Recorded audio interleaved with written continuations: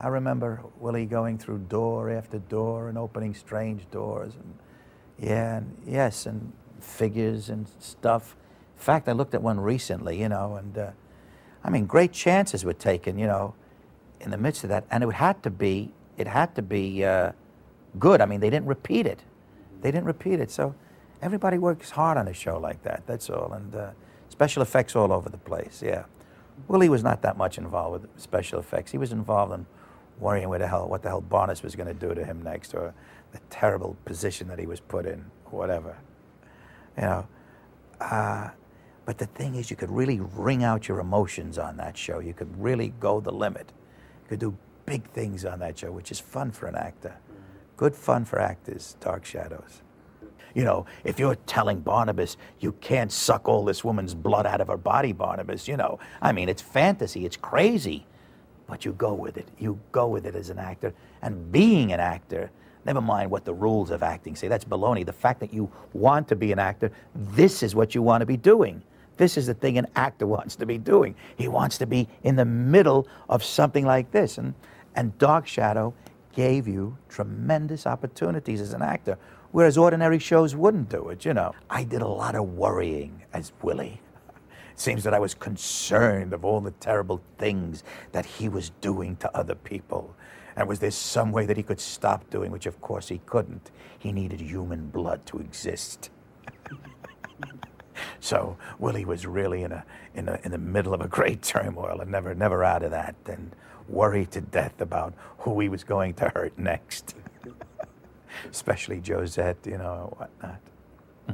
I got offers to live in other places to get away from Barnabas, you know. I think I'll take a few of them now as time goes by. They seem pretty good as I think about them now. I don't think they're still open then. I was much thinner then. I guess I was pretty much right up there until the end. In fact, I think I was right there at the end. But I wasn't Willie at the end. I was, I was either Carl Collins in the past or some other character that I was doing. I don't think I was Willie Loomis at the end. Willie, uh, excuse me, Willie left the show, I guess, maybe six months before the, before the end. Willie went to a sanitarium. He went nuts. He did other things. He became crazy. But you always seem to go back to the crux, to the beginning of the show, to the first year of, you know, of what it was all about. And then the extensions were tremendous. They went into the past, they went into the future. You had Wolfmen, you had, you had Frankensteins. You know, the Frankenstein character was great for Willie, you know. I like that. That was Robert Rodan. Yeah, we had a, I had a lot of fun with Robert and the Frankenstein character. That was fun. You know, we went into all areas.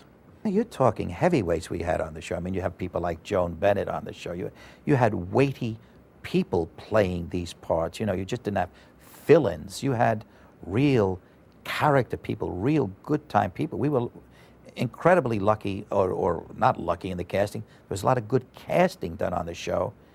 And that's king, man. You know, you come up with the scripts and the good cast, and you're in business, you know. And we were dealing with subjects. The amazing part about it was the fact that it was done every day, half hour. And uh, that was it, Old Dark Shadows. It was not difficult to go to work on Dark Shadows. It was a good time to go to work on Dark Shadows. You knew you, I knew I was going to have a lot of laughs that day, a lot of fun. And if you're laughing, usually that means you're relaxed. And if you're relaxed as an actor, you're in business. You can do things relaxed. So, so that's what it was. It was a good time and uh, whatever.